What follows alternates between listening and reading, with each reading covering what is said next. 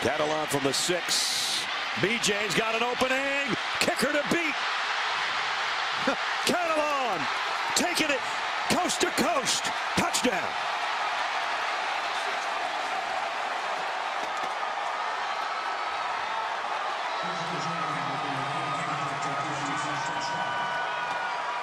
Now the Horn Frog fans can jump around. They're back in front. 94 yards for the touchdown.